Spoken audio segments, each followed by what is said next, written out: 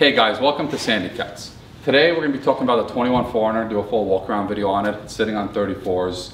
In my opinion, I built this as an example to show you guys how to you know, build a badass rig that is super capable and build it in a super efficient manner. This doesn't have any fluff, any extra stuff, but this vehicle for my type of overlanding will you know, last for a very, very long time and I don't expect too much issues with aftermarket parts. At the end of the video, I'll have a full parts list for you guys, but we'll go through the parts as we move on and a full price sheet of what everything that was spent on this vehicle.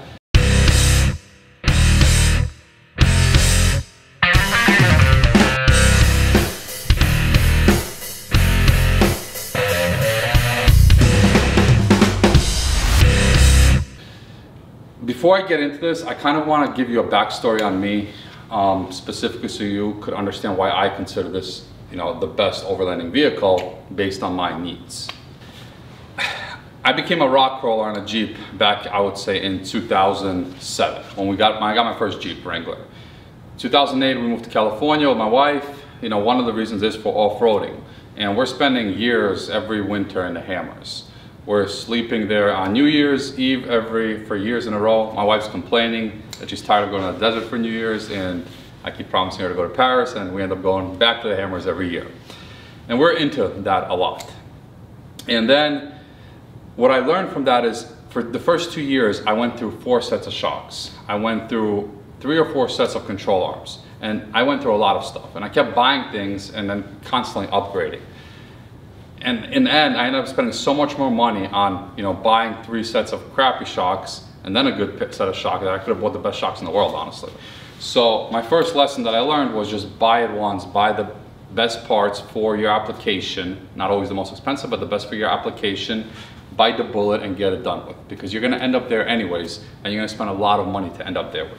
So I'm kind of anti what a lot of social media sites tell you, go buy a cheaper suspension lift, buy 33s, and then eventually you'll upgrade and upgrade and upgrade.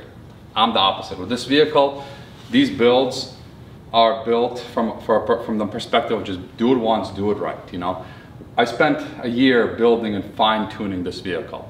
And the time that went into that was all worth it because now I could just go out and enjoy it for years to come. It has, you know, 10,000 miles on it and I hope to get another 100 200,000 miles out of every mod that I have rather than waiting until it has 100,000 miles, putting money into expensive mods and only getting half life out of them in essence because the vehicle is old.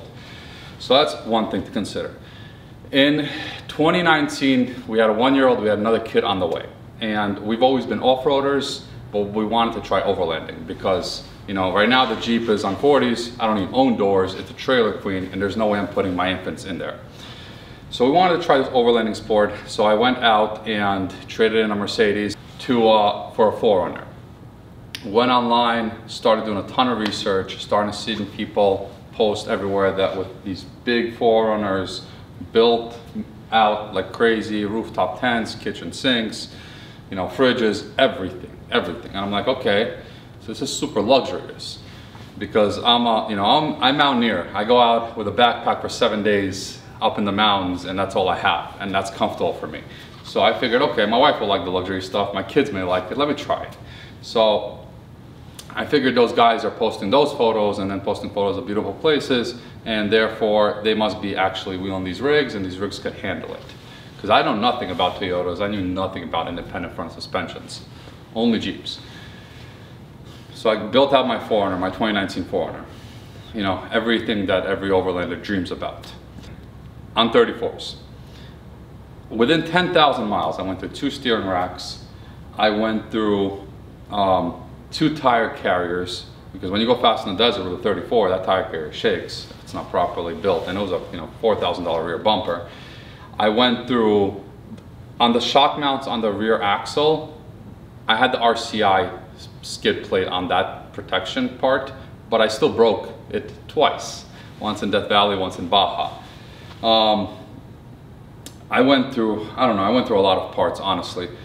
I also went the, the King shocks, King coilover, adjustable coilover shocks. I like King stuff. Those are considered great, right? So the first 5,000, 3,000, 4,000 miles, zero problems with them. Then at 5,000 miles, I just needed to do a full rebuild, and that rebuild was everything. I mean, all the seals were bad, everything was bad. And then from that 5,000 to 10,000 mile mark, every thousand miles or so, I was rebuilding something in the shocks, breaking the shaft. Something was going bad. It just couldn't handle the weight, to be honest with you. And the way I wheel, that's also a contributing factor. So this is based on me, right? I had a feeling my rear axle I was gonna blow somehow. So I ended up ordering a 60, Dana 60 from East Coast Gear Supplies. And as a backup, knowing that eventually I'll most likely replace it. If not, I could probably sell it for the same price I bought it for. And when it got here, it was only here for a month. And that rear axle, the stock rear axle, something blew in there.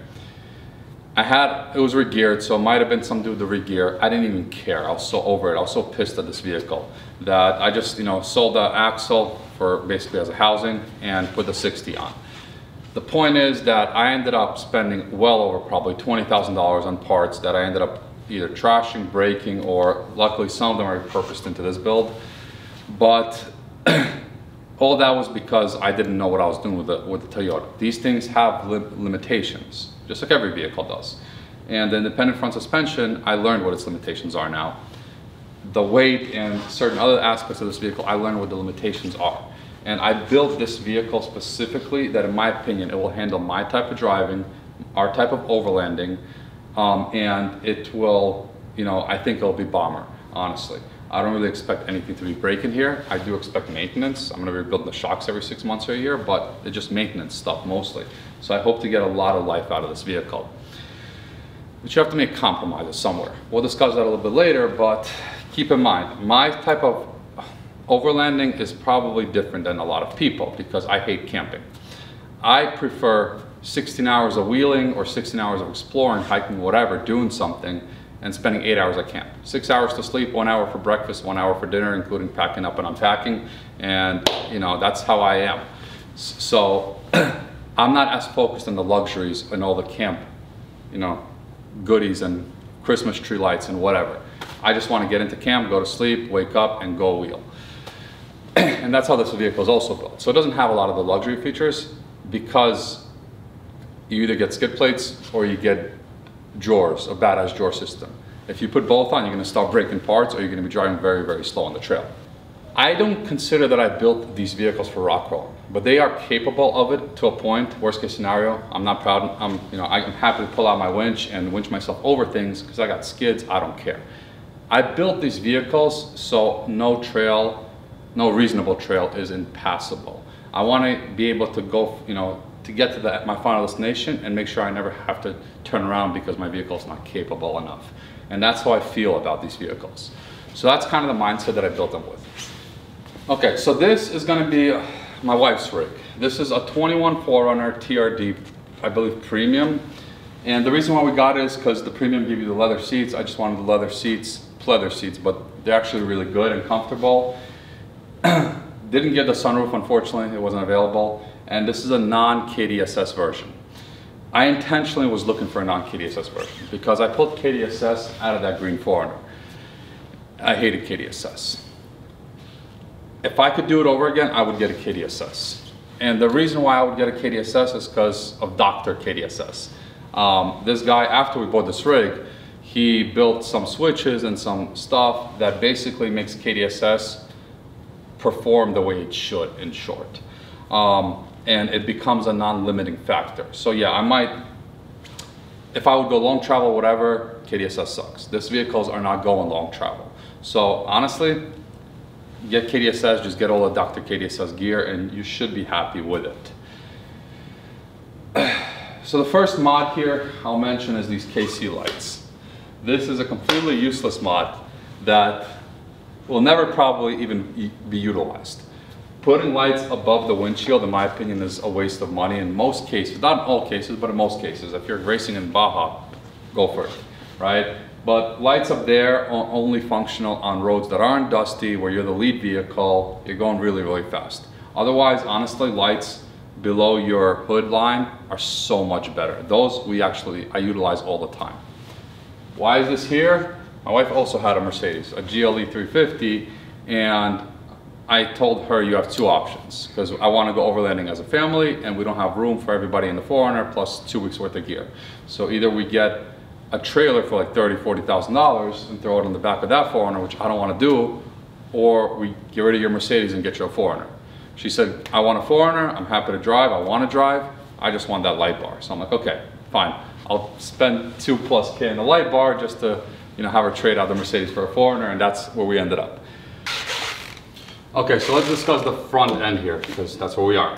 This is a Southern style off-road bumper with um, wings and this was repurposed. This came off my 4Runner because, I think I'm talking to it, I wired this differently. Um, because I needed, I'm, I'm putting 37s on that thing, that's a completely different build now at this point, and I need a different bumper. I uh, cut off the bull bar that's on this thing because it would interfere with this. Plus I didn't like the way it looked. Happy with this bumper, happy with the way it performs. You know, all these bumpers to me, honestly, they're all the same. They're all pretty damn similar to the point where I wouldn't care which one. All these like, you know, hidden, um, you know, half bumpers, whatever you want to call them. I personally wouldn't care which one as long as it has three functionalities, I would say. Winch access, light bar access and the wings simply because it's nice so this doesn't shake as much. That's going to be a Smittybilt X20 I believe winch um, and I have those winches on all my vehicles, the Smittybilt X20 and I've had them for years. This winch specifically, I mean like this one that's on this vehicle right now, I think it's been used in the last three months probably you know, over two or three actual hours, which is a lot of, of winch and it like runs like new. I never had a problem with these winches, so I keep sticking to them, right? Um, and they're much cheaper than, you know, the competitor winches. You know, regular soft shackle, factor 55 thingy. And most importantly is this, this is a Cali raised bar. I think it's a 20, 30 inch. They don't have an amber version. I like amber here, so I just bought like their cheaper you know, white version. And I bought this yellow thing on Amazon, the sticker. I stuck it on, it works perfect. I think overall this came out to like under 300 bucks. And you know, I have, uh, I think like an $800 plus expensive one in the, in the green one. That's a rigid. I think it's rigid, somebody, some expensive one. And honestly, for what this vehicle does, I don't need more because this vehicle, it does go 30 miles an hour at night in the desert once in a while, but it's not going 60. And at 30, this is more than enough. what else? These are Baja Design fog light, the legal version fog lights, amber. These my wife loves. She uses them all the time on the road and off road, but even on the road, especially if you live in a place that, you know, doesn't have a lot of street lights, these things are badass. They're really, really good. You know, stock fog lights, the LED ones, I actually don't like them. I prefer the my 2019 fog lights because these things are too bright. I'm not a big fan of bright, of bright driving lights because you, when you're lifted, no matter how much you align them, you're still gonna be blinding oncoming vehicles. So for me personally, I love running a really poor headlight and really good fog lights so I could control the fog lights and turn them off in certain environments where there's a lot of oncoming vehicles. But it is what it is. These, I did try to align the best that I could and you know, in certain areas, we still get flash tab because people are thinking I'm driving around my brights. I know I'm gonna get a lot of comments on that, saying that I didn't align right or something's off. I'm just telling you my experiences. These are the Raptor lights, Amazon, like know, 30 bucks or whatever. And there's a TRD Pro grill, Amazon, not that expensive. This was done for looks, honestly. But that's pretty much the front end. So let's talk about under the hood now. let's start with the snorkel. This is a safari snorkel that connects to an AFE cold air intake. And the reason why this exists is because on the Green 4Runner, I was doing four, five, six plus day desert trips. And what I started realizing is my engine was not happy. By day six, I get out on the highway off the trail and my engine does, does not, it's kicking, it doesn't want to go. And I look at my filter, it's, it's you know, full of dust. So I start, you know, cleaning the filter every evening on the trail, and then sometimes that doesn't even help enough. So I end up having to every three days. I used to carry a spare once in a while and I'd switch it out every three days or so. And I just got tired of it and I wanted a better solution. I did a lot of research. And, you know, other than connecting my air intake into the vehicle, which I'm not gonna do because I'm not a Baja racer, this is the best solution I could have came up with. The reason for the AFE isn't for the power, it's because of two reasons. First of all, AFE, let me show you, has these big filters. This is their street filter, which I think is like five ply or something. And this is what is in the vehicle right now, or should be at least, because this vehicle is being used for road purposes. And then whenever we go off-roading for a two plus day trip, this filter goes in. And this filter is like their seven ply farm tractor filter. And this thing actually works. It's, it's much better. It's gonna limit your power slightly. I'm fine with that. Um, but it will keep me from wanting to clean this out. The other thing that I really am a big fan of is not having a snorkel on the highway. Just quick thing, I had snorkels a lot and I've had superchargers and I've had a lot of, I've had a company actually do really thorough tests on one of my vehicles. And, we, and on the highway, snorkels aren't always happy. I'm not gonna go into a debate on that. I'm just giving you my opinion. So I prefer to get air from here on the highway and AFE has this option to open it up and let it suck air from under the hood and the snorkel when you're when you want and that's what I do. And only when I'm off-road I cap this cold air intake and I'm getting all my air from up there which has clean air and it works. And then I got this thing which is the Cyclone and I threw this on. I did a lot of experimenting. I don't like the way it looks. Some people do. But I found that it doesn't do much to be honest with you. And I don't know why, maybe for some people it does, different type of trails, different terrain. For the trails that I'm on, this did not do much. It really only sucks, um, it, it's only really good at dealing with heavy particles, which you won't really get up there anyways. So this may be a good precaution and maybe like, you know, when I start going on, you know, 10 plus day trips, I'll throw this on as a precaution. It doesn't hurt you, but it's not, it's not really that functional for, for what, what I'm doing and from what I'm seeing as far as results in actual testing and it makes a little bit of a weird squeaking noise for some people. Some people it doesn't. I think it really depends on what kind of filter box you have.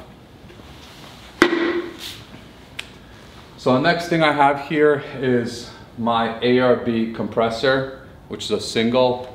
Never saw a need for a double for this vehicle. And I actually routed it all the way to here, and here's my input. I thought that it'd be easier on the trails, so I don't even have to open my hood up when I wanna fill up my tires I have a four-way tire system from uh, Thrashed Off Road. This was a mistake, I think. And the only reason it's a mistake is in the winter. In the summer, it works great, no problems at all. In the winter, that thing keeps freezing, it's a pain to deal with. I might put a secondary one under the hood anyways for the winter eventually, but not in a hurry to do so. And the only other thing under this hood here is this um, fuse box for my switch system under in the vehicle, which is from Amazon. It costs like 100, 150 bucks. It was cheap. It doesn't have anything that's high fused. My compressor is wired to it only for the switch. My, my front e-locker is wired to it. Zero problems. That's pretty much it under the hood, right? Um, I guess the other thing I'll tell you is the engine connects to a Borla exhaust which I love because it sounds beautiful. That's pretty much, I don't know if it gives you any horsepower, I doubt it, but it sounds beautiful, it makes it more fun to drive, so it's something that I like to do on off-road vehicles just because, you know, you're driving a you're driving a 200 or 100 horsepower vehicle, so you want, you want to feel faster, right? So let's talk suspension. This vehicle has the Elka 2.5 inch adjustable reservoir suspension, the, high, the highest Elka suspension you can get. I never heard of Elka before. And I had Kings ready to go for this vehicle. And then when we were building the GX, everything was like a year long wait because of COVID and Elkas were fast. We got Elkas, they were more expensive, but we got them. I loved Elkas so much that I got rid of the Kings and I put El and I got Elkas for this vehicle. They, in my opinion, for my application, for what I'm doing, for the way we drive these vehicles, the shocks on the Elkas supersede the Kings. So very happy with that. But I'm talking about the shocks right now, not the coils themselves that are in the coilovers. We'll discuss that in a second. Up front, for the upper control arms, we have the SPCs. I used to have, I forgot who made them, but I used to have a Uniball style that's considered superior upper control arm, and I got rid of it after 2,000 miles because I realized that for my application, these are still strong enough. They're not gonna break. I'm gonna break way more parts before I even get close to breaking these upper control arms. But they're maintenance free because those things, the Uniball ones, they were so noisy. They have maintenance issues all the time. Um, these things are much more maintenance free. Plus they're so much easier to adjust. I mean, those were not adjustable period. So I wanted something adjustable. I will put a disclaimer in because somebody said in a different video that they have issues with SPCs and they went to Dobinson's because of it, because their alignment shops couldn't deal with SPCs. So if you have really good off-road alignment shops near you, I, I go with SPCs. If you don't, Dobinson's, I'm not, I never tested them, don't know how they work, but um, based on what I saw, they seem to be easier to adjust for an alignment shop. Something to consider, but I'd stick away from the uni balls unless you're, you know, Baja racing. Um, for that's pretty much it for the front, if I remember correctly. For the rear, all four links are replaced. And the reason why is because I wanted to push the axle back a little bit by about half an inch and to have good clearance for the 34 inch tires. And um, I wanted to get the right drive shaft angle back. So on the rear also I have uh, adjustable panhard. All the links and the panhard I believe are from Rockman. And um, you know, no issues with them, but there's other companies that make them too, so pick one. I know that Metal Tech's lower control arms, you can buy them and in the future they will also work as long travel as well, or mid travel, whatever you want to call it. I don't really care because I never plan on going mid travel with this. So you also want to get in the rear panhard relocation bracket. I got a well-done one. Dr. KDSS now makes a bolt-on one, which is much easier to install. After I welded on my bracket, I realized that I really didn't need an adjustable panhard bar. The stock one would have been close enough. So I don't even recommend getting the adjustable panhard bar, I just recommend getting the bracket. And that's pretty much that. Going back here for a second for the steering. The other upgrades here that exist is for the, for the steering components. The spindles are gusseted and the tie rods have sleeves on them. I discussed that in detail in another video, so I'm not gonna go into detail on that, why I use that setup. I have welded cam tabs, I believe from ToyTec, um, simply because, you know, the way I drive those things, the stock ones are gonna now function. So got welded cam tabs done right away. now let's talk about adjusting this thing because the GX 460 that you saw the build, it was so plug and play. We put the right coils in the rear. We put, we used the Elka coils in the front and it just worked perfect. This did not. This took me six months to dial in perfectly. And it's as perfect as it's gonna get right now. And I don't consider it 100% perfect, but it is what it is because I'm over it. so I started with the 700 pound front coils. Um, and keep in mind one thing, I'm very, very, um, I guess being OCD-ish about this stuff because you know most people are just plug and play. It's a little too bumpy, it's fine. If it's a little too soft, it's fine. But the reason why I mentioned before that I came from a Mercedes and my wife came from Mercedes because I wanted these rigs to drive as good as a Mercedes, honestly, or at least the Mercedes that we're driving. And this one does. This one, in my opinion, now the way it's dialed in, is driving better than my wife's GLE ever drove as far as the suspension is concerned. And you know, that's, that says a lot. So I, I, needed to, it took me a long time to get there. So I started with 700 pound fronts that came with the Elkas and they were just exactly where they were from the factory. And I put in OME 899s here because I have a heavy rear, which we'll discuss. The 899s were too heavy, felt it right away. The 700 pounds were too heavy, felt it right away. So I did a full switch on the front and rear. I went to Icon, I got their 650s that are 14 inch, put them in there, and I went to OME 898 here, and everything was too soft. And yes, there's adjustability in the adjustable reservoir, but it's not enough. Um, you coils need to be dialed in as coils, right? And again, it depends on what you're doing. If you're doing more rocks, you want it soft. If you're doing more high speed, you want it fast. I want it to be perfect on the street, and then I want it to be good on high speed and okay on rocks. That's, that's the way I looked at it. So it was too soft. And then I'm like, okay, let's try something else. I actually called Elka, talked to them about it. Their customer service was great. And I ended up going to their 650 fronts, which are, I believe 13 inch, or maybe they were 14 inch, I'm not sure at this point. And then over here, I stuck with the OMEs and it still did not feel right. It still felt too soft. So then I got in the rear, based on their recommendation, ToyTec RCC HDs. Put those into the rear. Still too soft. And at this point, I'm just, you know, and every single time I'm putting it in, I'm, I'm driving it for like two, three, four weeks, taking it off road, bombing it in the whoops to make sure I'm, you know, unhappy with the suspension before I start playing with things. So it's a lot of work, months of work. Um, what I ended up finally being good with was in the rear, I finally, I ended up getting the Dobinson 701Vs, I believe that's what they're called. And I was happy with them. They actually felt really, really good in the rear. In the fronts, I ended up going, the 650s, I tried to compress down to max out to get them to feel a little stiffer and it wasn't enough. So I went to the 700s, but I extended it up. So 700s regular, like the way it came from the factory, it felt too stiff. When I extended it up, it felt great. But now I kind of, now my suspension drives perfect, like so happy with it. And the adjustability gives me, I'm right, mid-range is basically the highway, the highway. You know, max softness is good for rocks. Max stiffness is pretty much almost great for, you know, going fast. So I'm really happy with it, but I don't like the stance. The first issue that I had was I have no idea why with the Dobinsons, but I had to put basically a, a 0.75 inches of spacer on. I want to say it was the driver's side to get it to level out. Fine, no problem. But the Dobinsons sit too high because I'm not, I don't have enough weight for the Dobinsons. If I throw another 150 pounds in, they sit perfect. Right now they sit too high.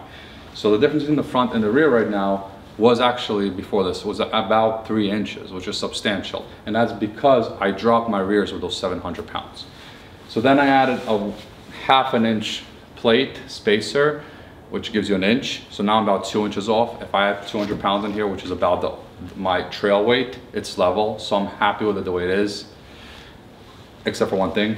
Um, but with that spacer, now I have to put a diff drop bracket in. Trust me, I've tried and you drop your axle, your, your shafts all the way down, basically you droop your tires with the spacer in there, you're gonna hear the clunking. You put the diff drop in, the clunking goes away. So a diff drop was necessary as well, which I'm not happy about, but it is what it is, right? So let's talk about wheels and tires.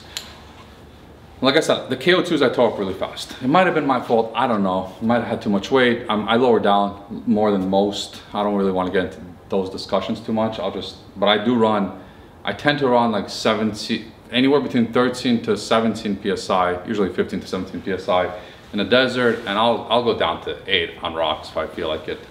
Um, so those things, the KO2s, I believe I tore them when they were like around 15 to 18 PSI and going fast, but that's pretty low PSI for what I was doing. It is what it is. I really love Nittos and Toyos. I'm a big fan of those guys, but they're heavy.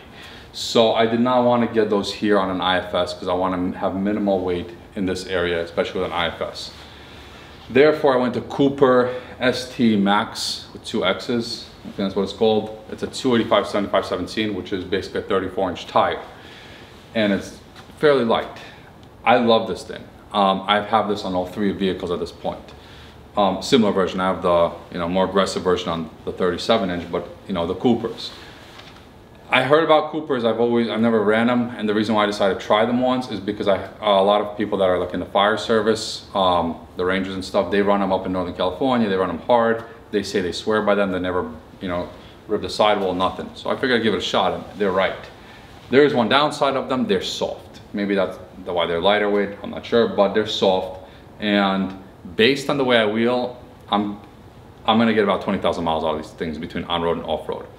Keep in mind that for me that's great because with the Jeep, you know, most tires last me for 10,000 miles. But with Nittos, I bet you I get 30,000. So again, things to consider, right? For me, I'm happy with 20,000 miles on a vehicle that sees a lot of trail time. The bead locks. I never, I never had non-bead locks on an off-road or overlanding vehicle. And I didn't want to put bead locks on my 4Runner, that green one. So I didn't. and I'm at you know 17, 16 psi running in the desert, and I keep getting leaks in my wheels, in my tires. And what ends up happening is sand gets in between the tire and the rim and causes slow leaks. And I had that happen, I'd say out of the first three or four desert trips I took, twice. And I realized right then, I'm like, okay, either I gotta keep the PSI higher, which I don't wanna do, or I gotta go to beadlocks. I went to beadlocks. I know everybody's gonna tell me I need to run higher PSI. Thank you, but this is how I run. So that's pretty much the wheel and tire combination here. As far as my axles are concerned, uh, we did regear this one. It has 488s in it, and it has a front Eaton E-locker. The first time I ever trusted an E-locker because I only use ARB. So far, it's working great, honestly. I mean, as long as it works good for another three or four years, I'll, you know, I know that I'll, I'll, I would take the functionality of this E-locker because it's activates so much faster over an ARB. I just don't know if it's gonna last, right? Um, and then I have the diff breather on here. So that's pretty much it for the axles. Okay, so let's talk about steel in this vehicle. Uh, the, the top is a Southern style off-road roof rack. I love it and I think it's one of the best out there based on my needs at least. I believe Westcott Designs may be a little better because it's lighter weight because the extrusion bars are, are, not as heavy duty and I, I don't really need the heavy duty ones. So I might eventually replace the extrusion bars here to save some weight. I usually don't run them all anyways, but have no complaints about the roof rack. I do run rooftop tents sometimes. I'm not a big fan of, you know, being a rooftop tent all the time guy. I run them when I need them. And those are usually super lightweight rooftop tents that we've been playing around with and designing, not selling yet. So that's pretty much the top. I also run cargo boxes up there if I have to. I have the Roam 95 liter ones. I usually run two of those and then a bunch of front runners. When I don't have the rooftop tent, I want to bring a lot of gear because we have the whole family in one car. I The front runner boxes, um, I love them. They're called the Wolf Packs, I believe. I love them, and I use them all around the garage. I use them everywhere. Those things are the bomb. The Roam 95 liter boxes, I don't love. They are not, they don't give you that much space because the walls are very thick and I have two on top of the Green 4Runner and they, um, the, the hood, the lid on it, after a while from the sun abuse, I believe, gets, you know, permanently misaligned. So I can't really recommend that, but the front runner ones, those are awesome. The rock rails here are Shrockworks.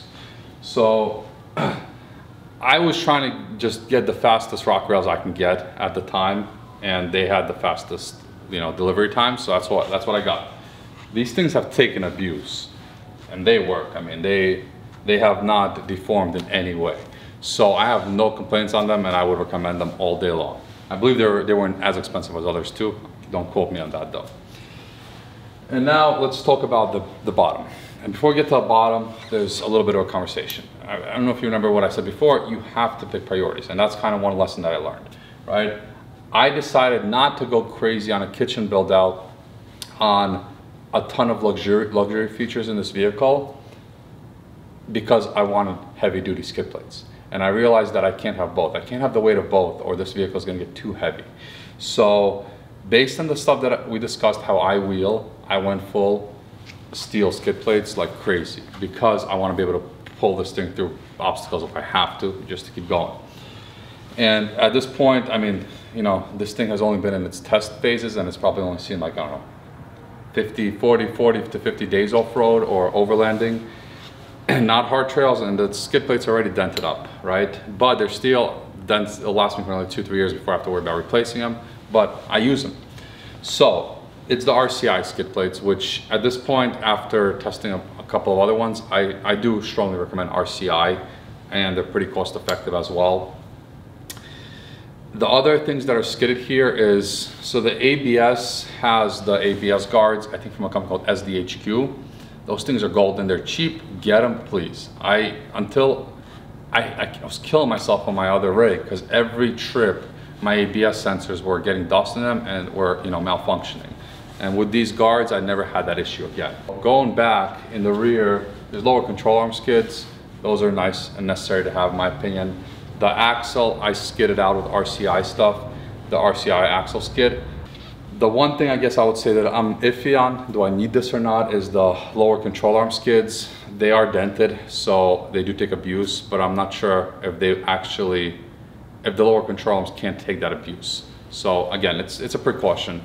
The most important skid, and the skid that changed my whole life, honestly, uh, is FJ Toyman. He's on Instagram, I'm not sure if he has a website even, but it's FJ Toyman he has these skids for your lower shocks on the axle side. So with the RCI skids, they were useless because what happens is the bolt is exposed. Um, and I remember in Death Valley specifically, I, I, remember exactly what happened. I don't have a video of it, but I know what, I know what happened.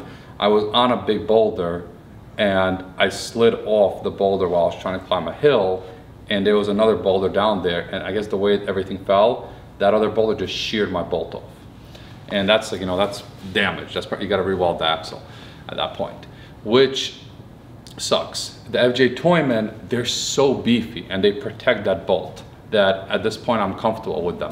Um, in reality, if the FJ Toyman system didn't exist, with this vehicle on the GX, right off the bat, brand new vehicle, I would have cut those tabs off and welded them up two inches higher in the axle housing because I didn't want to risk breaking them. But now since I have the FJ Toyman skids, I don't really have a need for that. I think they will actually, you know, take all the abuse in the world. So let's talk about the interior of the vehicle. I have a mount there made by Expedition Essentials, which houses my scan gauge. I have a scan gauge to monitor transmission temperatures. After all the skid systems and tires and so on, the tranny was overheating a lot. I put in one transmission cooler. I'm gonna make a separate transmission cooling video on GXs and 4Runners in the future. But I put one transmission cooler, it worked perfect in the summer. Zero issues, perfect temps. But in the winter, when I went up to like, you know, zero to 34 degree weather, um, it, it was running too cold, way too cold. So I put a bypass in there, which would allow it to not use the tranny cooler if it gets below, I believe it was like 165 but bottom line is the way it works is it will tend to keep my transmission at around the 165 to 180 temperature, which is where I want it to be. So transmission problem solved. The other thing I have here is my eight panel Amazon switch system, which works great. And that works for all my lights and my air compressor and my locker, zero issues there. I have a RAM mount for my cell phone, which I tend to never even really use. That's pretty much it, honestly, because the 4Runner system works with my Gaia, um, and I have no other issues. I have no other need for large screens, and you know, because on my other 4Runner, I built it out like an Overlander, and you get in, you feel like you're in a fighter jet, and then you tend to pay attention to all your electronics more than the road. You just need one navigation. At least I do. So I, I went very, very light with this stuff. So I also have an ICOM 2 two-way radio here, which I have the housing panel uh, face installed here and then everything else installed in the back of the vehicle. And that's pretty much it. I mean, there's nothing else here that I need or would ever need, to be honest with you. So, okay, so let's talk about the rear of the vehicle. Up there I have my two-way radio antenna. Down there I have my Long Range America gas tank and a custom skid that I built for it. Let's talk about that for a second. I, uh, it's not a cheap upgrade, but I think it is it changed my whole world because we do a lot of long trips and now I'm getting four to 500 miles of off-road, actual off-road range, which is a lot. I don't have to carry a bunch of jerry cans. I don't have to worry and have range anxiety, which I always had. I know it sounds funny because we're talking about gas vehicles, but the way we overlanded, I had range anxiety a lot. Plus, for daily driving, it's also pretty cool because now, you know, based on the way we drive, my wife fills up her gas tank once every two, three weeks instead of every week, and she doesn't have to stare at the crazy gas prices every week that we have in California. This is to water, this is where our water systems go. Um, everything on the outside of the vehicle because the inside we need space. This is a Sandy Cats like shower system that we make.